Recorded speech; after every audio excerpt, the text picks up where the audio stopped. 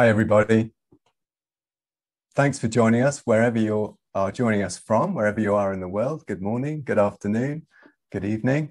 Welcome to the Global Innovation Design preview for the RCA Show 2021. I'm really pleased to welcome you today. Uh, I've just been looking through the list of attendees. It's fantastic to see some familiar names on there. So, welcome, old friends and part of the GID family who are reconnecting. And welcome to those of you who are who are joining to find out more about the program, to find out more about perhaps the work um, of our graduating students. Perhaps you know them, or perhaps you'd like to know more about uh, the course. Um, I really hope that today will just uh, spark your curiosity and you'll stay with us later in the day for um, more of a, an exchange where you, we'll have some time later when you can actually chat face to face with the guys who are with us today. So um, just to set the scene, I'm John Stevens. I'm acting head of program for GID on the RCA side of the program. You might know it's jointly run with Imperial College. Um, GID is known as the course where students get to go on international placements in the States and in Asia, but of course, uh, not in 2020. But the multidisciplinarity of the program with this global perspective is, is built into the program and um, including this international alliance with our with our four world leading institutions. Um, but uh, like like all the other graduating students this year, our cohort um, had to face the disappointment of re- remote learning and, and get to grips with the challenges of that. And of course, especially for GID, the disappointment not being able to experience the places and cultures that they'd hoped to as part of the program. Still, uh, we're immensely impressed and proud of the work that the guys have come up with, and I, am sure you'll agree when you get to see the work. It's a, it's a rich, deep exploration of a range of fascinating design projects and problems. Let me tell you a little bit about that. Um, we'll, we'll hear, hear, them speak for themselves in a moment, but I just want to say, uh, um, as acting head of program for these two years, I am immensely proud to introduce their work. We have 21 graduating students this year, and I'm really happy to say we've got 15 of them joining today. And as I said, you'll be able to talk to them directly later on. They're celebrating the end of a uniquely challenging journey, which has really challenged their resilience, their strength, and commitment. And they've had to come up with new ways of working, um, not just connecting with uh, the academy, but with them, with one another, working across great distance and um, they've they've really come through on this. I'm really, as I said, immensely proud of that. So the work, uh, the work they present here aims to deliver social, environmental, economic, and cultural impact, as GID always does. Um, and um, I think you'll agree, we'll see that they've pushed through the established design disciplines, many beyond their original undergraduate subjects or their professional experience, crossing over and uh, between disciplines and subject areas. The guys will be speaking in four, uh, four groups today. We'll, we'll be first, uh, David's going to introduce in a bit more detail his project, and Jingyiz, Mairead, Harrison, and Grishma, they'll all be talking uh, around their projects grouped into this subject of inclusion. Uh, they're presenting solutions that focus on quality of life issues really important quality of life issues based on age or physical and sensory abilities and gender. Then Zeke will, will talk us through the ethics group, Zeke and Christian, um, looking at, of course, the, the, um, the fact that the growing scope of design and design is beyond products and communication through services and systems and policy. And it, that means that there's increased attention to ethical practice and a kind of growing understanding of the responsibility of design and individual designers, whether that's around uh, data and the way we use data and the way we engage with data, or around uh, more broadly how designers actually can bring ethics into the practice themselves. So we'll hear from Zeke shortly. And then we'll be hearing about uh, the experience group. And of course, in some ways, all design is about experience. Uh, but these guys particularly have explored how um, new products, systems, and services are perceived and felt by their users right uh, um, is uh, absolutely squarely within the remit of their projects. So uh, that will be you'll be hearing from uh, Harika, Nick, Millie, and Man. And then lastly, sustainability. Dan's going to introduce, uh, the, of course, this this massive issue um, of of crucial importance. Dan will introduce it far far better than I can, and but of course we know the urgency and importance of the planetary challenges. The guys have explored issues around uh, food futures, fashion, air quality, and water scarcity. So uh, I, that's all I want to say for now. I'll, I'll uh, join again at the end and I'll tell you a little bit about some more events coming up and how to get over to the Gather space, which is our virtual gallery space. Um, it's, it's a really fun environment. You can, you can wander around and, and meet the guys and see the work. So we'll all head over there. Um, but for next, I'd like to hand over to David. David, are you there? I am. That's a relief. Great to see you, David. Over to you. Thank you. Thank you for that introduction, John. I'm very happy to introduce the first group of students, which includes Jingyi, Mairead, Harrison, Grishma, and myself. And for the five of us, the last six months have been about using design to address various challenges of inclusion that we care very deeply about. So all of our projects were very people focused and involved collaboration with a very wide range of users um, to figure out how we can meet their needs. Whether it's assistive furniture that allows older people to live independently, new systems that empower visually impaired people to enjoy tabletop games or to enter text through speech and gestures, and experiential design installation for trans inclusivity as well as a platform that promotes well-being for people transitioning into retirement. That being said, I'll let everyone introduce their projects. Thank you. Hello, I'm Jingyi Lee. I am an inclusive interaction designer. Today I'll be introducing my work Moception that helps visually impaired users to deal with text efficiently. A main challenge that visually impaired users face when they're interacting with digital systems is text entry and editing, which can be very slow and laborious without visual feedback. Many mainstream solutions based on touch require both hands to operate, making it really difficult to use for visually impaired users with a cane in one hand. Moception aims at tackling these challenges. Over the past six months, I had the pleasure of working closely with a group of visually impaired users at Guangzhou Tree of Life Disability Innovation Center to explore the design space with a broad range of alternatives, tapping into spatial intelligence of human beings, making use of different interaction modalities and metaphors. After three rounds of iteration, testing, software, and hardware development, Moception presents a single-handed eyes-free text entry and editing method, leveraging proprioception and low-key 3D gestures. This is what visually impaired users can do with Moception. Users can start speech-to-text input by making a fist.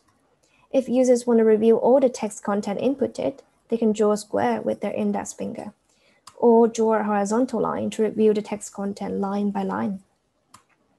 When users spot a mistake and need to locate the insertion point after the wrong text, they can rotate their wrist clockwise to go through each word and locate it. To correct the wrong text, users can simply make a pinch and say replace dinner with lunch and release the pinch. Text correction can be done within a second.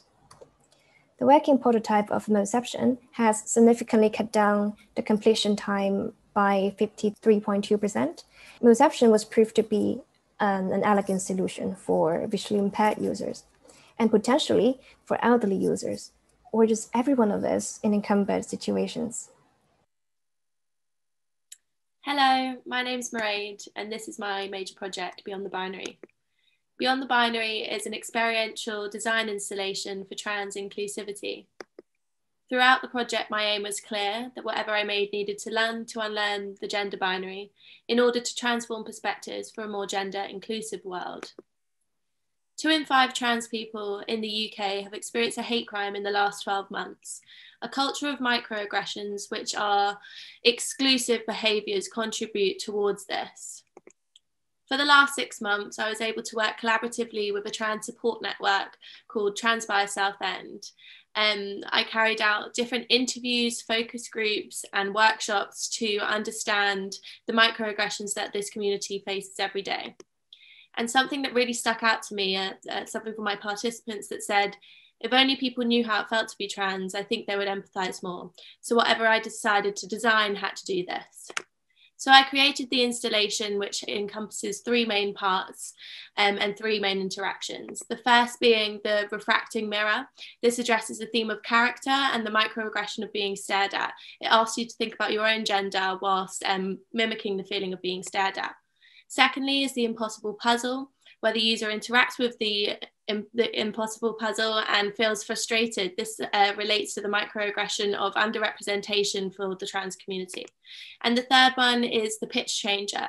The user speaks into the interaction and the interaction plays back their, their speech at a different pitch. This relates to the theme of gender dysphoria, which came up in all of my interviews with trans individuals. And lastly, the user contextualizes all of these abstract emotions from the interactions through trans stories um, in an interactive book. They understand what the installation was about and how their perspective might be changed for the future. Um, overall, my, my design reconceptualizes how we look at trans inclusivity and aims to create greater empathy towards um, the trans community. Thank you. Hello, the story of my project Holodeck begins with making tabletop games more inclusive and winds up revealing how that could benefit us all. For the blind and visually impaired, tabletop games are rarely, if ever, accessible out of the box, and blind enthusiasts shoulder the burden of physically modifying games to make them accessible by braille embossings, stickers, and NFC tags, or by using unwieldy apps that offer imperfect text-to-speech. And this burden becomes even more apparent when it comes to playtesting tabletop games still in development. Playtesting has been popularized with the rise of crowdfunding platforms, building a bridge between creators and players.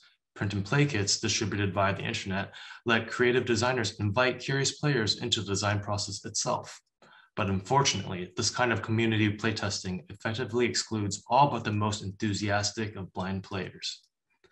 Holodeck makes it possible for creators to go beyond the status quo of print and play kits, and it does this by making it simple to virtualize their game assets, creating a digital twin that incorporates textual, pictorial, and positional information. This empowers and encourages creators to distribute games that are accessible right out of the virtual box. For the late blind and the growing proportion that do not read Braille fluently, screen reading has become the most favored interaction and hearing the most accessible sensory modality. Cards in Holodeck become consistent gestural soundboards made accessible through virtual augmentation rather than tedious physical modification. Holodeck transforms each player's smartphones into their hand of cards, and a larger screen such as a tablet becomes a communal table. Playing across multiple devices gives the virtual yet in-person gaming platform some of the physicality at the heart of tabletop games. And by moving into cyber physicality, Holodeck opens the door to new dimensions of immersion and interactivity, blurring the line between our notions of traditional tabletop games and modern video games. Cards will come alive, walk across the table, and maybe even find that they have something to say. Hi everyone, I'm Grishma and I'm an industrial designer. Throughout my GID journey, I've used empathic and user-centered research methods to create emotionally durable design. For my final project, I worked on Upraise, which is an elegant seat assist that allows users with impaired mobility to stand up easily. The initial inspiration of this project was my grandmother. I noticed that she struggled to stand up from a chair regularly. It would take her four to five attempts before standing up, and she refused to ask for help as she did not want to be dependent on someone. When I talked to more individuals, I realized that this was a common concern amongst the aging population. Not only did they avoid asking for help uh, to stand up, but they also avoided functional looking objects that would make their homes feel like hospitals. Further dive into this uh, space highlighted that design for disability currently only focuses on problem solving and lacks playful interactions. The results end up ends up being very functional and these objects become very stigmatized. In order to avoid um, stigmatized designs, I chose to co-create the object with the users. I first prototyped uh, scale models to communicate my ideas remotely. And um, when I got to travel home during the Easter break in India, I worked with local artisans, craftsmen, and engineers to create a functional prototype. I then took this functional prototype to my grandmother to get more feedback to refine the idea further in terms of comfort and usability.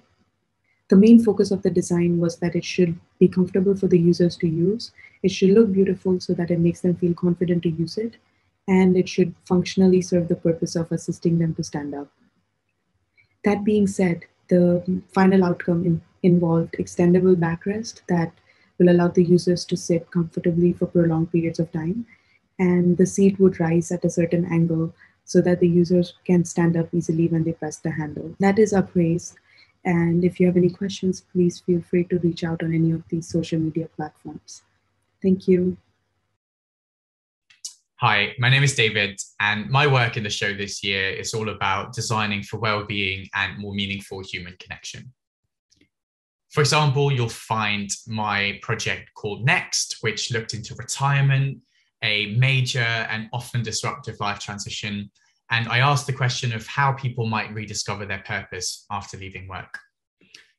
I've worked with 11 retirees over the last six months, and the outcome is a platform that makes it very easy for people to start community projects that they're really passionate about or get involved in projects um, that they would like to support it's essentially about connecting those people who see retirement as an opportunity to start something new that's impactful for community and society, and those who want to continue using uh, and developing their skills. The interface makes it really easy um, to browse projects. The organizers introduce what their, what their project is about. And, and if you're looking to join, you get all the information right inside the app and you can reach out to a real human rather than emailing a generic email address. The whole platform is also hyper local. So it's an opportunity for you to make new friends and, and um, expand your social network right where you live. Another project you'll find is called the Joy app, and it's a digital ecosystem I've built which connects healthcare providers to community services. And it makes it a lot easier for clients to get referred into support services that they really need. Um, and the system overall produces a lot of data on well-being and health outcomes. So happy to have a chat about this in more detail if you're interested. Um, it's already being used in organizations across the UK, for example, in the NHS and, and local authorities and charities that's not all of my work, of course. So if you head over to my page, you'll find some more projects on community building, ritual design, and loneliness.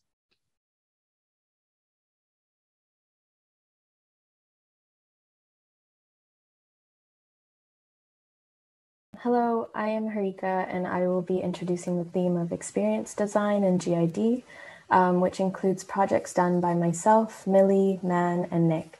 And this past year, if anything, has shown us that we need to re examine the future of um, human experiences as we explore new ways to engage with technology and still stay connected to our bodies, each other, and our environments. Um, our work looks into the way we can monitor our bodies for better health, balance our engagement with social media, and explore cities in mixed reality, or even produce artifacts that allow us to journey beyond Earth. We hope you enjoy this glimpse into our process and our final creations. Thank you. Hello, my name is Nick, and today I'm going to be introducing my project, Zero G Cutlery. It's a series of food related artifacts that explore new ways of designing the products that shape astronauts' life in space. Throughout my project, I had the opportunity to engage and work with designers and engineers from NASA, SpaceX, and MIT Media Labs and the key stakeholder insight that inspired this project was that hardcore engineering is necessary and it has to be done, but not at the expense of ignoring the human part of it. Now, in the current process, humans are being retrofitted into the machine through rigorous training, which creates an acceptable living condition for short duration flights. But in longer space flights, higher level needs, such as enjoying a meal, become much more significant to the success of the mission. So I use the eating experience as a principal tool to develop a series of products that explore how human-centered design can be used to address those needs. The first product that I created is a spoon with a flexible structure that gives astronauts more control during their meals. This could potentially allow for a broader range of food textures as it does not only rely on the water surface tension. The second product is a redesign of the existing food packaging.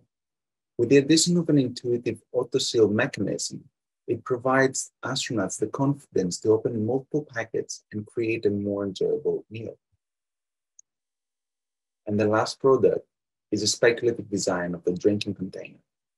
It uses genetic modification to turn plant roots grown on board into flavoring agents for drinks. This enables astronauts to produce their preferred beverage while minimizing the weight load. Finally, the methodology behind these products provides a first understanding on how to use human-centered design to address astronauts' higher level needs while still respecting the engineering requirements. Thank you. Hi, I'm Millicent. I'm a designer who's interested in the nuances in human connections and communications within a physical or digital space.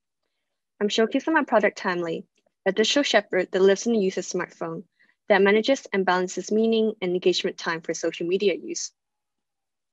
In 2018, Facebook announced a change in their newsfeed algorithm that prioritizes meaningful content, such as posts from the user's friends or family members over engagement-based contents. However, the problem here is that this still measures success based on the engagement metric, put through the number of reactions or likes or comments or shares, with the goal to maximize engagements and usage time from their users. This led to the project's goal, which is to design a digital intervention in the user's smartphone that maximizes meaningful social media experiences while minimizing any mindless engagement time by optimizing their usage, ultimately allow users to regain their time. And as a result, Timely was conceived. Timely is an algorithm that exists within the user's phone operating system. And based on the user's phone usage, Timely can predict the user's next phone usage and create a personalized, meaningful feed by pulling contents from the user's um, social media accounts, which can then be de delivered to the users in a timely manner. And by placing the Timely algorithm in the standalone Timely native applications in the user's phone, it allows users to interact with the meaningful feed within the set Timely limit as well as allowing users to configure the feed, which can help inform the algorithm over time and changing the timely limits as well as privacy preferences for Timely to access the user's social media accounts. All in all, Timely is a starting point towards addressing the bigger picture of undermining surveillance capitalism by managing and balancing users' meaningful and social media experiences and engagement time, and to minimize the time user engage in social media mindlessly, and ultimately allow users to regain their time. I'm Millicent, and if you're interested in my projects, please feel free to get in touch. Thank you. Hi, I'm Mantara I'm a designer interested in challenging our perception and seeking for behavior change. Showcase here, Melody, is an enjoyable solution to control a diet by pairing music with food through a music algorithm and smart devices. Lifestyle diseases such as diabetes and obesity are on the rise every year. One of the main causes is from unhealthy food we eat. Whenever we try to control unhealthy food, our body responds to make it crave them more and ends up overeating. Based on multisensory research, showing that slow tempo of music could trigger people to eat more slowly, taste the flavor more, and consume less.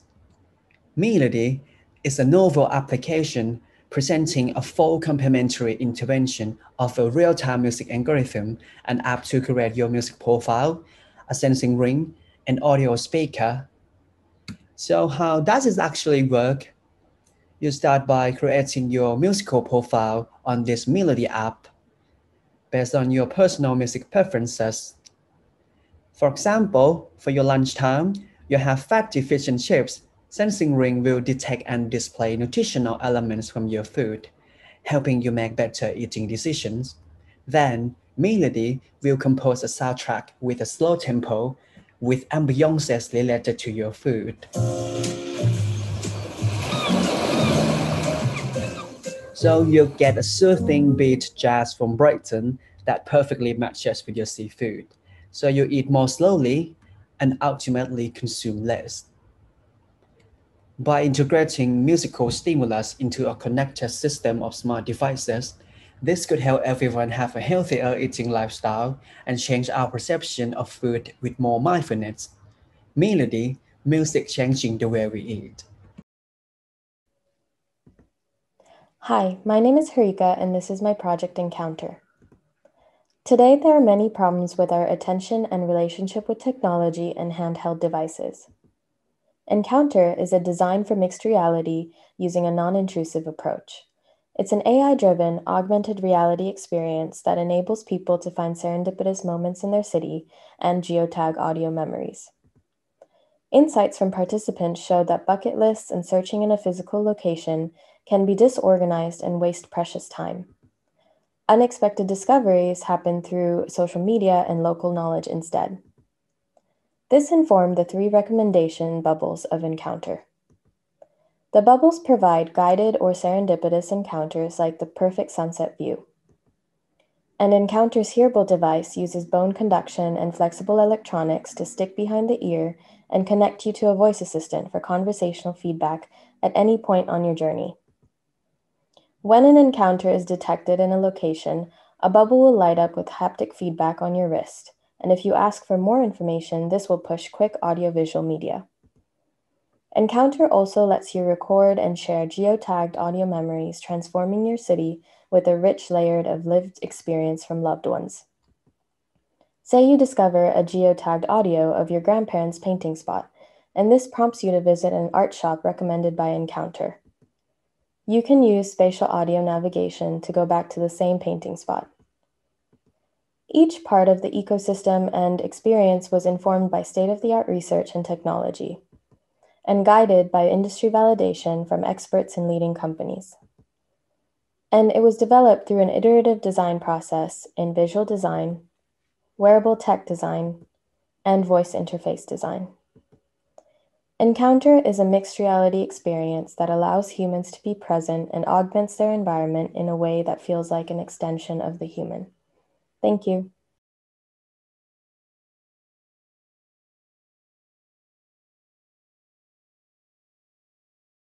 Hello, everyone. So I'm Zeke, and I'm here to introduce you to our next theme on ethics.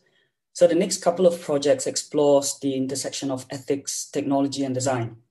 Now, just last month, at a talk about the future of design education at our school, Don Norman mentioned ethics as being critically important and a topic that is currently not taught in many design schools in the world. As an emerging lens to help navigate in this ever-growing complex world, the next few projects showcased here seeks to address this from empowering you by giving direct control of the ads you see online with Project Ego by Christian Pugsley, to my project entitled Design Ethicate, a community driven evaluation tool, all of which seeks to facilitate an ethical outcome. So now let's take a closer look at the works on display. Hi, my name is Christian Pugsley, and before I dive into my final project, Ego, I needed to start with the simple fact that no one likes ads they don't. But ads do help us discover new products and services that improve our daily lives. And Ego is a platform that gives you direct control over those ads. But for a bit of context, each time you go online, you indirectly tell advertisers a bit more about yourself via the things you like, the things you click, the things you search for. And those actions are interpreted by advertisers as interest groups, which they use to then feed you ads. But for those who haven't seen what these groups look like, uh, I thought I'd share a selection of my favorite Facebook ad interest groups, um, some of which make sense, some of which don't make any sense whatsoever. Uh, and Ego simply displays these groups to you as they're added to your account in real time, and then gives you the choice to approve groups that you find interesting or groups that make sense, uh, or remove the groups that don't by simply saying, no, this group doesn't apply to me. But Ego additionally gives you the choice to customize these interest groups using the push function to set your own ad schedule, saying where you want to see groups, when you want to see them, for how long, and why. Then Ego automates those choices and informs advertisers on your behalf, pushing those ads to and from your device the decisions you make with ego can affect your social media, your search results, your mm-hmm. online shopping, video or music streaming, essentially anywhere you see ads, ego gives you the choice. Because in the end, your data belongs to you and it's your choice as to how it's used. Ego is here to provide simple data options to match the complexities of your everyday life. Hello, I'm Zeke, a human-centered designer and strategist with a focus on design ethics. Now, my project Design Ethic is all about bridging the philosophical world of ethics into the practical world of design. Now, the world of design, tech, and innovation has been going through what we call a techlash, where big tech like Facebook, Amazon, Google all ended up in a courtroom under the intense scrutiny of lawmakers and the public. The rising cases of these alleged crimes committed in the tech and design industry are pretty alarming. Now, the industry is facing an ethics crisis, or as Cennydd Bowles, the author of Future Ethic, puts it, an ethical awakening is long overdue. Now, my project seeks to address this by introducing ethics into our design process.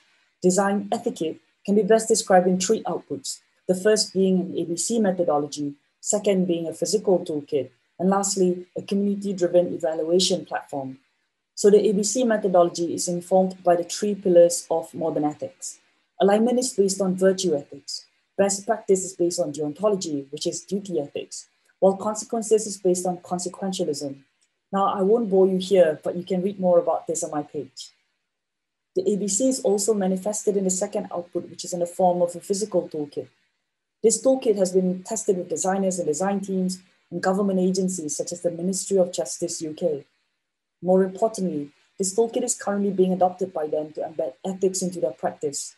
You can also download this toolkit on my page and learn more about it.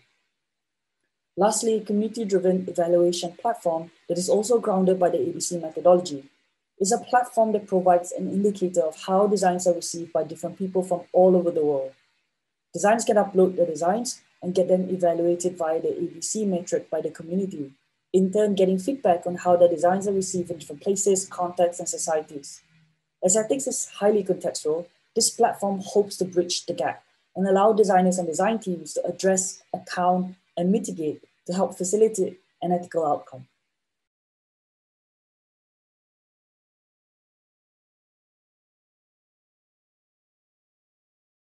Hi everyone, I'm Daniel, and I'm going to be introducing our final topic of the day, sustainability.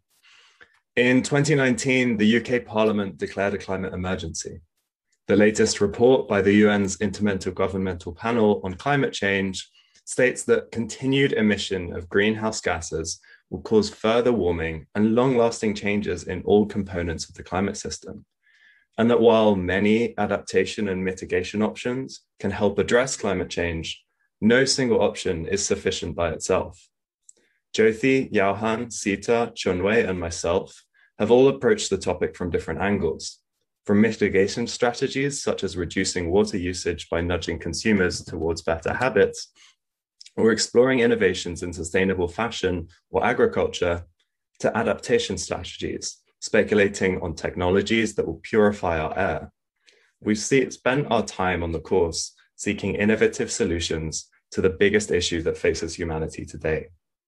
So, with that, let's take a closer look at what we've been doing. Hi, I'm Jyothi. I am an apparel designer turned sustainability expert. Uh, this is my project Brianna. Brianna is an inclusive humanoid breast form. Brianna simulates real breast shapes and helps design better intimate wear. And I said to my body softly, I want to be your friend. It took a long breath and replied, I've been waiting my whole life for this. Research shows that 70% British women wear bras the wrong size as the recommended measurements do not match the breast volume. Bras are designed, tested, and fitted with idealized breasts in mind, and there is, there is no correlation with real shapes. Most of the women go through sagging and ptosis in their lifetime. A survey of more than 100 users showed that women hated wearing bras and they defined their ideal bras to be comfortable and to feel like a snug. It's high time we change the perspective from the viewer to the wearer.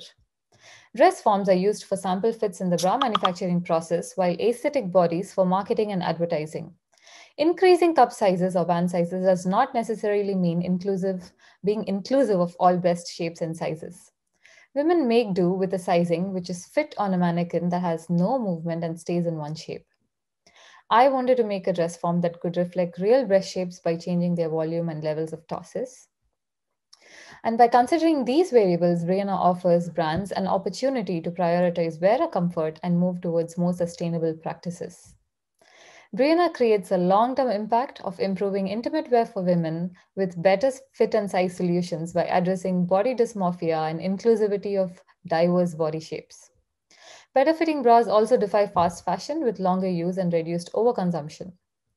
This project was a semi-finalist at the Mayor's Entrepreneur 2021, and I further plan on receiving a market validation and working on some more iterations, looking at sophisticated robotics technologies and smart materials to achieve a high level of accuracy in breast curvatures. For more information, please reach out to me and I'm happy to connect. Thank you. Hi, I'm Daniel, a designer and engineer from Southwest London. For RCA 2021, I'm presenting a breadth of projects showcasing the variety of roles that I've taken on in the last two years. My major project, Agriculture, is an exploration into the future of food. Cellular agriculture, or lab-grown meat, is often presented as the solution to unsustainable emissions produced through agriculture and the meat industry. But as humans, our relationship with meat is complicated, and consumer perception of lab-grown meat is not positive.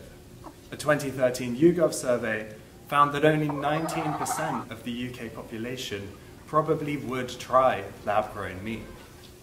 For most, it's an unnatural and unappealing food.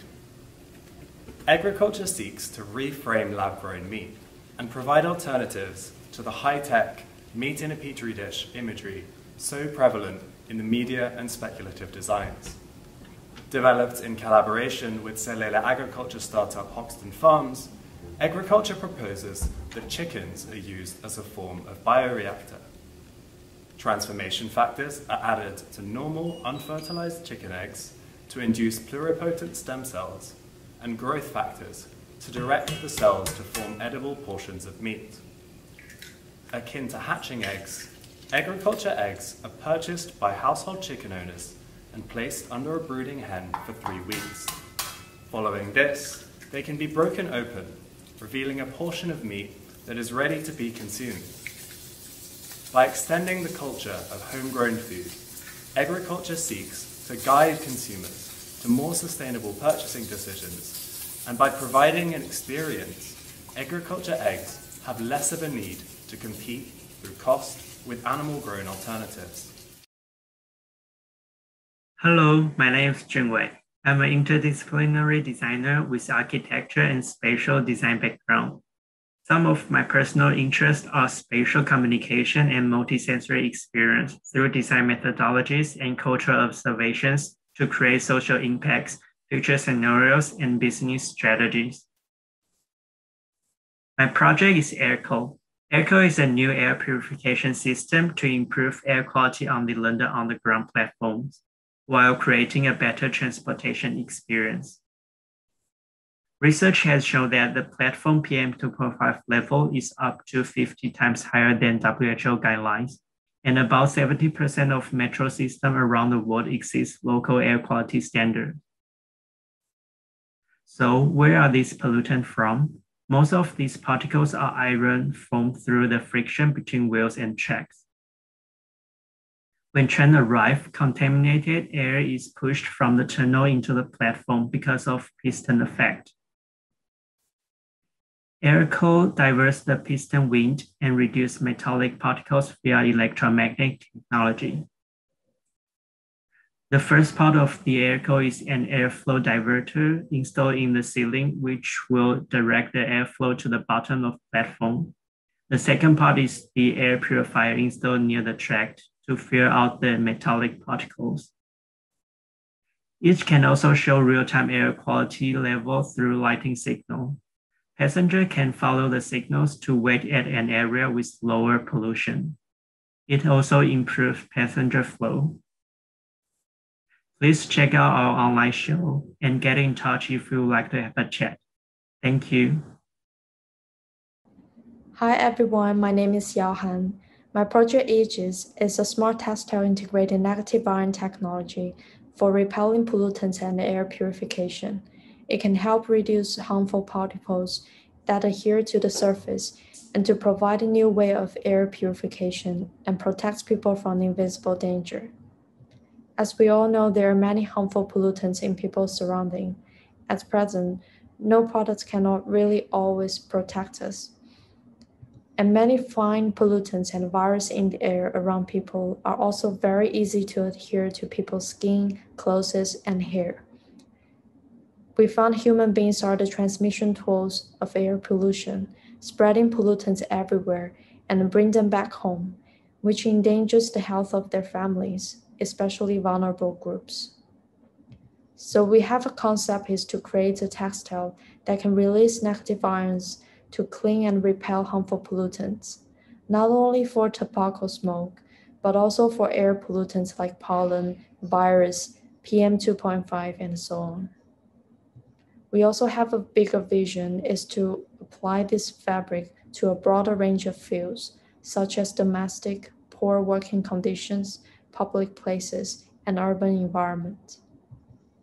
We chose negative ion technologies because it can release millions of negative ions to absorb, repel 99% of the pollutants, and kill 85% of the bacteria in the air.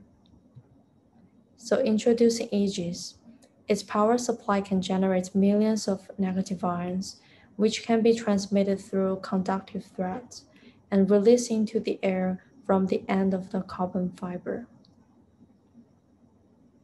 And these negative ions will become a shield that can repel and eliminate air pollutants to protect you from all these invisible dangers. Thank you. Hi everyone, I'm Sita Raman, a technology-focused designer and engineer from India, and I'm here to tell you about my thesis project for GID, Boond, redefining our relationship with water one drop at a time. Why water, you may ask? Well, fresh water is a limited natural resource, and many countries around the world are already facing acute water shortages. This situation is only projected to get worse in the coming decades due to increased daily water consumption and climate change. Boond is a platform for hotel guests to help them track and reduce their daily water footprint when they are traveling. The platform can be broken down into three main components appeal, measurement, and feedback. The appeal is where guests are asked to save water by opting into the Boond platform. They are provided with three choices when they check in water champion, nature lover, and leisure seeker. These three profiles help the user set limits on activities such as showering and washroom tap usage, which are then transferred to the device in the bathroom. The device takes audio input from the onboard microphone, which is locally processed using machine learning algorithms to detect for water flow events. This helps the device record the time for which water was flowing, which is then tallied against the limits that the user has set for themselves. This is then used to provide visual feedback to the user based on the traffic light system, the device glows green when the user is within their limits, amber when the user is nearing their limits, and red when the user has exceeded the limits that they have set for themselves. This therefore helps the hotel guest monitor and track their daily water footprint and help them reduce their daily water consumption for the duration of their stay. If you are interested to learn more about this project and my other works, Find more on the RCA Show 2021 website and do get in touch.